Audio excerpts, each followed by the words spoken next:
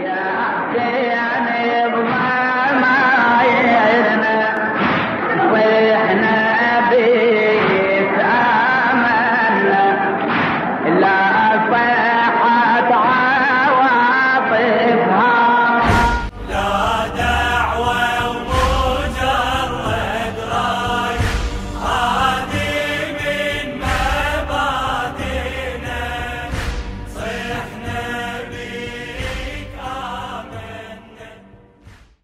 السلام عليكم ورحمة الله وبركاته. عظم الله أجورنا وأجوركم باستشهاد الإمام الحسين عليه السلام. حينما نريد الحديث عن إحياء عاشوراء لا بد وأن نبدأ بالمنبر والموكب وبعدها ننتقل للأساليب الأخرى كالفن والمسرح وغيرها. في حلقة اليوم سنتناول الموكب الحسيني وبالتحديد سنتناول إدارات المواكب واللجان التنظيمية ودورها في إدارة وتوجيه المواكب الحسينية. ضيفنا لهذه الليلة شخصية تميزت بالعطاء في هذا المجال لفترة طويلة جدا. واكب من خلالها حركة التغيير الأخيرة التي طرأت على المواكب الحسينية ابتداء من حقبة السبعينات ليومنا هذا. لن نقدمه بنبذة تعريفية لأنه غني عن التعريف. رحبوا معي بضيفنا الشاعر الكبير والرادود القدير الأستاذ عبد الشهيد الثور. أستاذنا العزيز من المسلمات أن يكون لكل عمل منظم إدارة ولجان وذلك لضبط إيقاع سير هذا العمل. في الموكب الحسيني ما هو الدور الأمثل الذي يقع على عاتق اللجان المنظمة؟ بسم الله الرحمن الرحيم. والصلاة والسلام على محمد وآله الطيبين الطاهرين. أود أن أعزي جميع المؤمنين بذكرى عاشوراء ومصابئ بالشهداء الإمام الحسين عليه السلام. في سياق السؤال الدور الأمثل للجان لجان الموكب. نعم. أن تبرز الموكب الحسيني بصورة ترضي أهل البيت عليهم السلام في نفس سياق مبادئ وقيم أهل البيت على كل أصعدة الموكب. الكلمة اللحن الرادود الشاعر المعزي عضو اللجنة. نعم.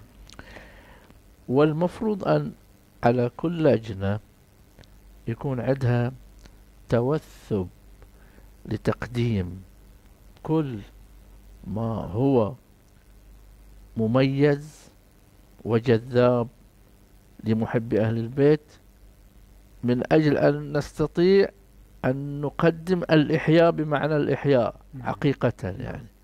الإحياء معناته أن تحيي ذكر أهل البيت تحيي أن توصله أن يكون جذاب أن يكون مؤثر في المتابعين. نعم. برأيي أن لا يكون الموكب مكتفي فقط بترتيب الموكب.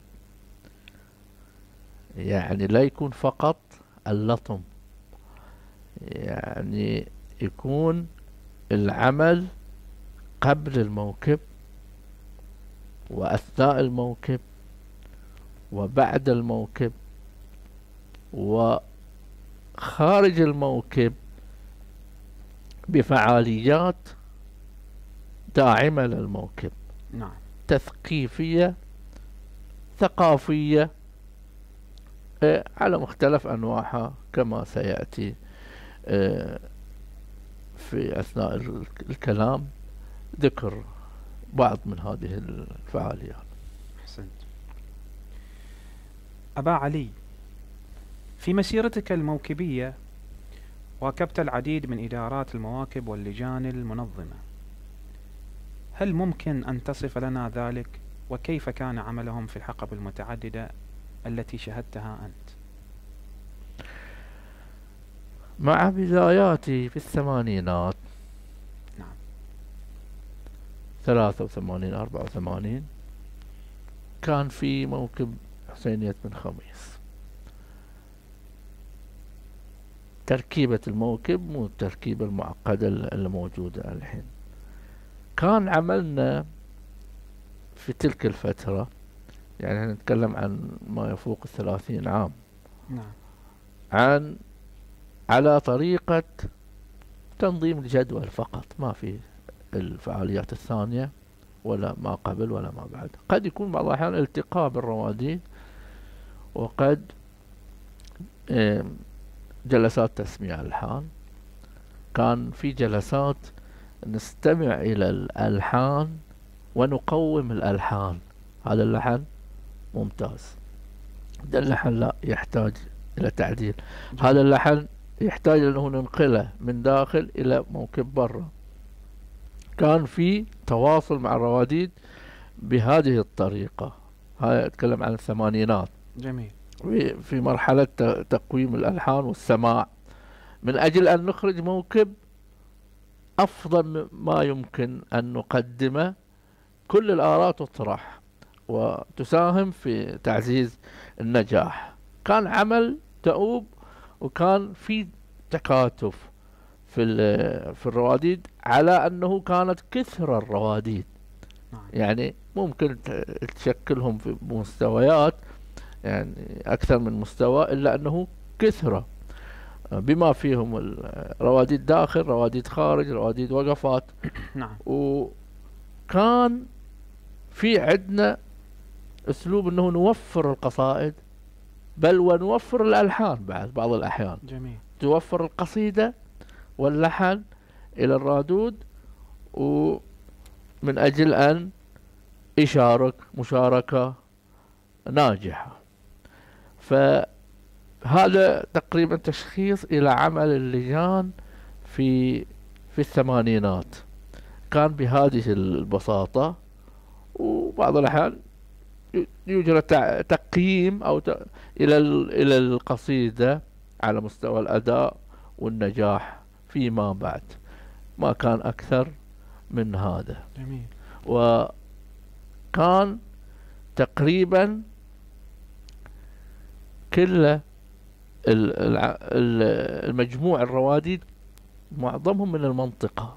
في تلك الفترات ما كان في تبادل الرواديد من من منطقة إلى إلى أخرى إلا القليل النادر. يعني في السنتين مرة واحدة رادود من منطقة أخرى. ما شاء الله. فكان في عمل يعني دؤوب على تنمية قدرات رواديد المنطقة. لذلك يمكن تستطيع أن تشاهد و آه، تميز أن منطقة السنابس فيها عدد كبير من الرواديد البارزين. يمكن الموكب المركزي ساهم في إبرازهم إلا أنه اللجنة ودعمها لرادود المنطقة كان يساهم في إبراز الرادود يعطيه فرص. نعم صحيح. جميل أحسنت. يمكن عفوا يمكن هذا مرحلة الثمانينات. أنت بتنتقل إلى مرحلة التسعينات. لو أنا أنتقل إليها مباشرة. إيه. عندنا مرحلة التسعينات. كانت عندي انتقالة إلى إدارة مأتم السنابس. في الفترة القبلية كانت في حسينية بن خميس. نعم. وتتخللها مراحل إنه الموكب مشترك. آه في مرحلة آه، مأتم السنابس. على صعيد الموكب أنا في موكب في مأتم السنابس.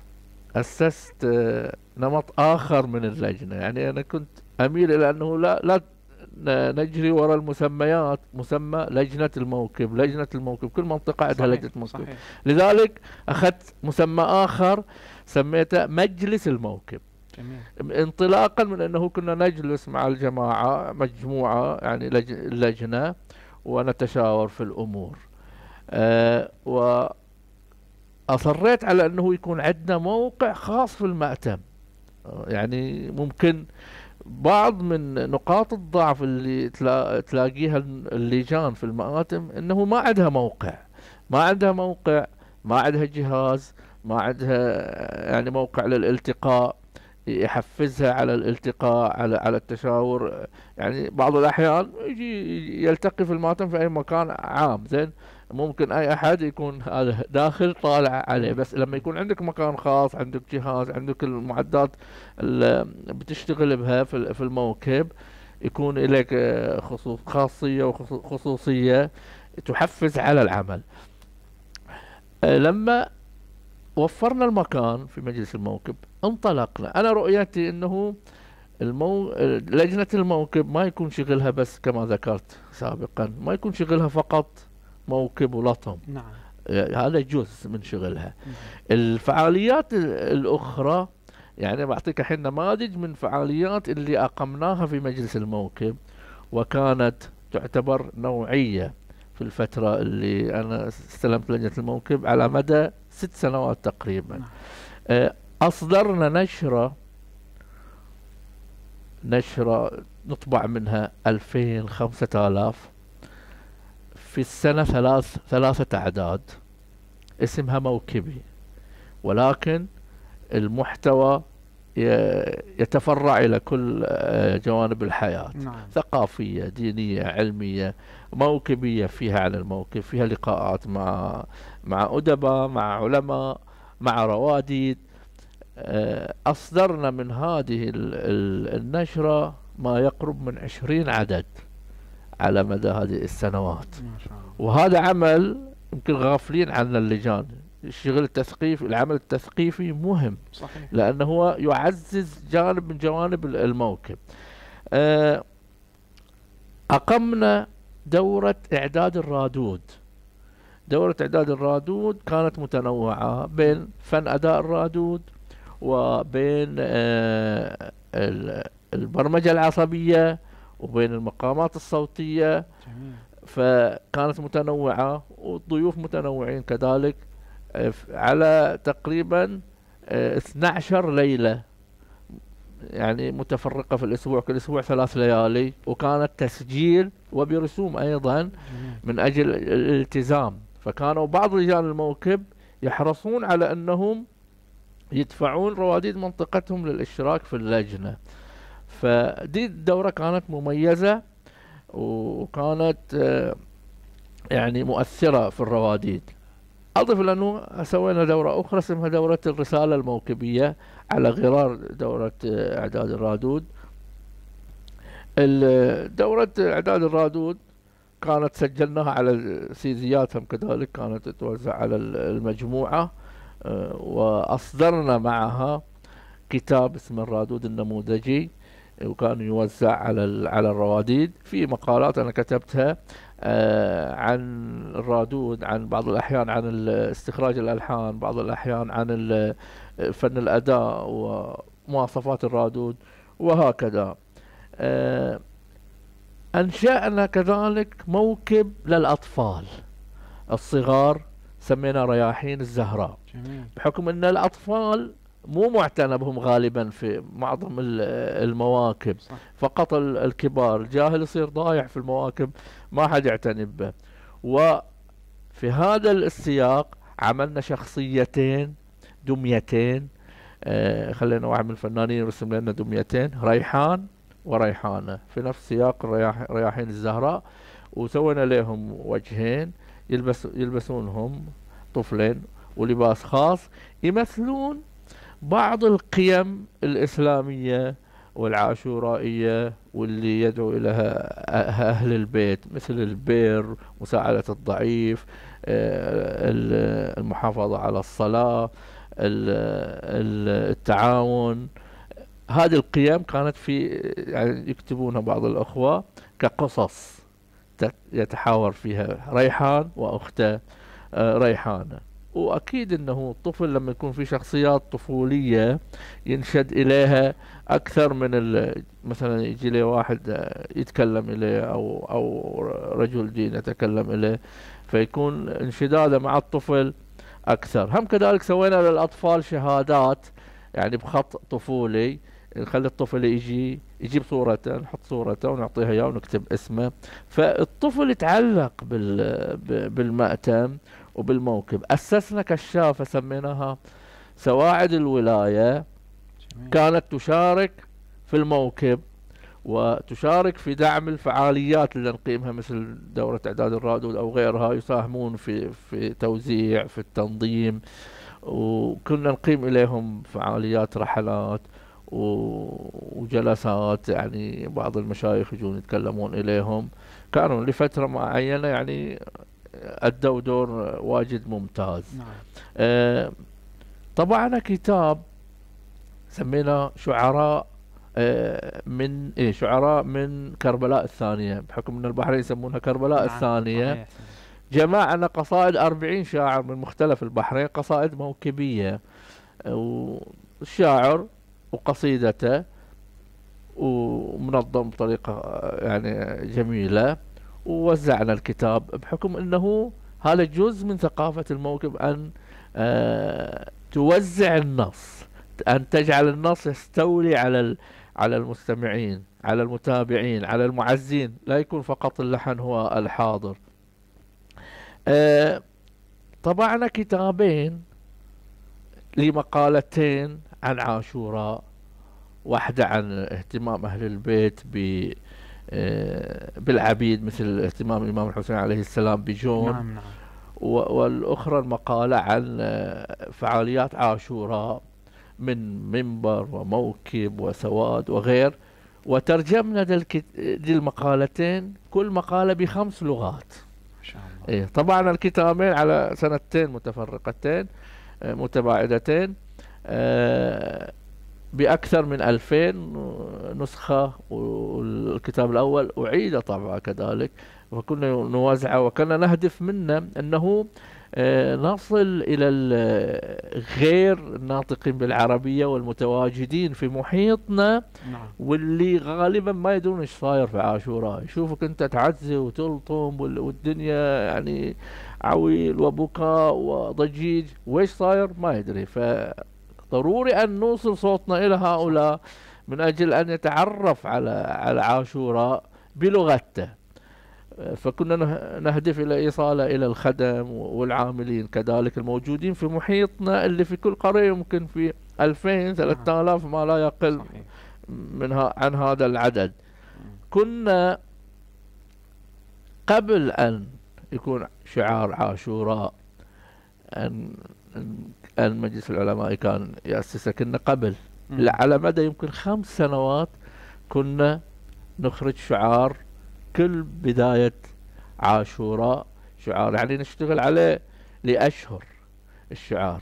آه يعني نختار الكلمات نضع كلمات كثيرة 20 30 كلمة بعدين نفرزها نطلع بكلمة بعدين نوزعها على الرواد على الشع... على الفنانين وكل فنان يجيب أكثر من خيار ونفرزهم ونطلع ب... بصورة واحدة هي نعتبرها الأفضل.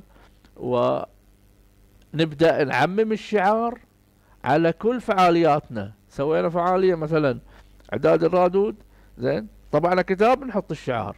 إعلاناتها مم. الدورة فيها الشعار. نعم. آه، إعلانات الموكب فيها الشعار. آه، الإعلانات ال- الثانية ال- الموجودة أي فعالية ثانية في محيط مجلس الموكب بل في المأتم كله يكون فيها الشعار. ماشي. وغالبا بعد بعض الأحيان يمشي السياق النص إذا في قصيدة في نفس الس- السياق. يعني كان عندنا شعار حسينيون في أخلاقنا. وعاشوراء نحو التهذيب ويدا أمة واحدة. أريد أن أمر بالمعروف. يدا بيد. يعني هاي كانت الشعارات. وكنا نمشي بالشعار لآخر العام. من بداية عاشوراء إلى آخر العام الشعار ماشي في كل الفعاليات. آه كان فيهم كذلك مع الشعار كنا نعمل مسجات صوتية نشيدة بسيطة عاشورائية ترسخ الشعار نعم في الشعار. فكانت توزع كنا بعض الأحيان مع بداية كان موجود آه، ال- آلية البلوتوث في التلفونات نعم نعم. فكان عندنا جهاز أمام الماتم يجون المعزين مع حضور ال- الجمهور هذا كله نبدأ نرسل المسجات على التلفونات فهو يجي المسج يستقبله يروح في, التلفون عنده جميل. فبعد هذا ومع هذا أيضا عملنا مجموعة بريدية فيها أكثر من 28 ألف إيميل وكنا نضيف يعني. بس آخر شيء كنا وصلنا إلى 28 ألف إيميل. كل الفعاليات نبدأ نرسلها فيها. يعني مجرد ما هذا ترسل ال- البريد يصل إلى 28 ألف إيميل. يعني مختلف ال- الأماكن وال- والأعمار وقد يكون الت- التوجهات. آه، سوينا اشتغلنا على عمل وبريت وانتصر الحسين. أكيد شايفين إيه، إيه، نعم. آه، ك- واشتغلنا على عرض على أكثر من قناة. آه، العمل كان مرتب إخراجا ونصا وتنفيذا وترويجا. ال- العمل كان في أكثر من هدف في أنه أن توجد العمل ال- الموكبي المتقن اللي يكون مميز أن توجد العمل اللي ما يكون مجرد يعني محاولة للخروج إلى الإعلام بأي شيء كان. وكان في من الأهداف أيضا أن تبرز بعض الرواديد اللي مو بارزين. إذا أحد يركز على العدد اللي فيه يمكن 16 رادود مو كلهم بارزين. فيهم ثلاثة أربعة خمسة. مو من البارزين فإحنا كنا نريد أن بظهور ال- البارزين يظهرون ال- الأوجه الثانية على أساس نكون إحنا ساهمنا في في إبراز ال- الأوجه الثانية اللي ما أخذت فرصتها في الموكب بالنسبة للأطفال كنا نطبع كتيبات للتلوين إيه، فيها القيم قصص- قصص. إيه، يعني إيه. يعني بعض الأحيان ما في قصة بس صورة يعني واحد إيه، طفل يقود شيخ كبير كفيف آه. يعني يعبر جميل. فهي توصل القيمة. آه، واحد داخل المسجد يلون واحد عايد عيادة المريض. نعم. فكنا نوزع عليهم الألوان وال والكتيبات. لأن الطفل يعني هذه شغلاته مو مو غالبا يعني مو شغله إنه يعزي أكثر. فالحسن نخليه جزء بسيط من الفعاليه والباقي فعاليات تشجعه نعم. في سنة من السنوات سوينا لهم لوحة طويلة يعني جبنا لهم مثلا الكانفاس هذا ال- ال- البنر إيه. طويل يمكن أكثر من من- من 100 متر وخلينا الأطفال ممتدين على على القطعة ويرسمون يعني كانت طويلة لو- لوحة طويلة مرسم في. الرسم. الرسم إيه نعم. من أجل أن تشجع يعني الطفل تقول له ارسم موقف من مواقف عاشوراء لا تتذكرها واحد يرسم القاسم واحد يرسم العباس واحد سكينة واحد. أولاد مسلم يعني يش- يشجع الطفل على أنه آه، يبدع نعم آه، كان عندنا كذلك أسلوب أنه كل وفاة بعنوان مو يعني محرم يجي خلاص كل ليالي ليلة حادي ثاني ثالث رابع لا. كل ليلة بعنوان ليلة حادي عندها عنوان ثا- ثاني عنوان ثالث عنوان وغالبا تمشي العناوين في سياق الشعار. يعني إذا الشعار كان آه، أريد أن آمر بالمعروف تحصل العناوين تمشي في نفس السياق. ويمتد موضوع العناوين إلى إلى آخر الو- يعني الو- الوفيات. عنوان الوفاة البوستر اللي يطلع ده في عنوان ال- الوفاة. آه، يعني لكل وفاة عنوان. يعني مثلا آه الإمام الحسن يكون العنوان سلما لمن سألمكم. آه، مثلا ال- الإمام الباقر عليه السلام المدرسة الباقرية. مم. آه، الإمام الكاظم سجين الحرية. وكنا بعد نضمن العنوان في لافتة الموكب اللي تمشي أمام الموكب. جميل. نحطه في نكتب العنوان و بعض الأحيان بال- باللغتين العربي والإنجليزي. مم. كل وفاة تبدل العنوان آه، إلى إلى نفس العنوان ال- الوفاة. كان عندنا كذلك توزيع كتيبات يعني صغيرة آه، اللي يسمونه notebook. مال الجيب لتمرير الشعار. هذا على أساس الشعار عليه الشعار وعليه بعض الكلمات اللي مرافقة إلى الشعار. تعزز الشعار ملصقات صغيرة آه، تعزز الشعار بأكثر من تصميم وبكلمات آه، متنوعة. غالبا ما هي تحاول الكلمات أن تبث القيم اللي مستوحاة من قيم أهل البيت عليهم السلام. وماذا عن الرادود أبو علي؟ هل يلتزم بتعزيز أيضا الشعار؟ إحنا غالبا كنا ندعو الرادود لأنه ترى شعارنا مثلا وفاة الإمام الحسن سلم لمن سالمكم. إذا استطعت أن تضمن ال ال القصيدة في المستهل نعم. دل النص كان ممتاز. وعندنا نماذج واجد في قصائد آه، كانت في نفس المستهل نفس نص الشعار. نعم. فعلى أساس إنه أنت آه، تتعاون مع الرادود لل- للذهاب إلى إلى سياق آخر من ال- المعتاد السياق المعتاد. كنا نركب لامبوس. في المنطقة أعمدة الإنارة يعني 20 30 عمود مع بداية محرم. كنا نحط فيها ال ال- الرادود مثلا كل واحدة رادود مال يوم معين وفي الشعار وفي قيمة معينة. مصاحبة جميل. إلى الشعار. نعم. طبعنا كتاب على مستوى إلى الرادود اسمه أوزان الرادود. اشتغلنا على جمع الأوزان اللي موجودة في الموكب الكتاب. إيه بالإضافة لأوزان ال- الأوزان الخليلية وتفريعاتها وشفنا ما هو مقبول منها. نعم نعم. ووضعنا عليه نص وتفعيله وعلى أساس يخدم الرادود في التلحين. لا يشرق ويغرب في التلحين بطرق يعني تكون مو صحيحة ومتعبة إلى الشاعر ومتعبة إلى إلى النتيجة على مستوى النص. وهذا وزعناه نعم. على الرواديد يعني وصلنا. في أكثر مناطق البحرين. آه، كان في عندنا في الفترة الأخيرة خدمة إرسال المستهل. يعني قبل المشاركة الحين مثلا جاي ليلة سابع قبلها يوم ثالث العصر نرسل المستهل مكتوب.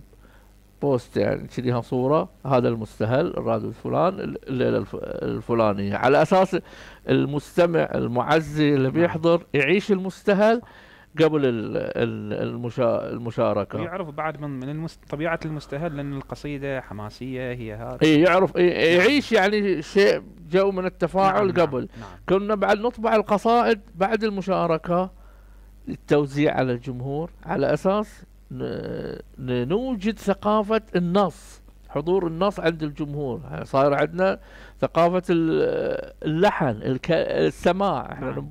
القراءة قراءة النص آه، على أساس آه، يعتاد ال- المستمع على قراءة النص كما هو لا يس- يستمع غلط لا يعيش اللحن اللي هو يفرض نفسه عليه. كنا عملنا فترة من فترات تكريم كبار المعزين ال- الآباء على أساس يشعرون أنه كان لهم دور في الموكب وأنهم غير منسيين.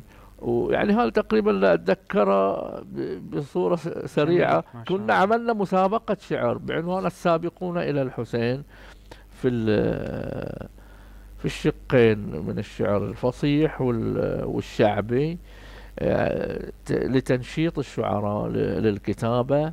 مو فقط في الموكب يكون في الجوانب الأخرى. هذا تقريبا خلاصة اللي أتذكره عن برنامج حافل إيه. أبا علي إلى هنا تنتهي حلقتنا لهذه الليلة مع الشاعر والرادود العزيز عبد الشهيد الثور.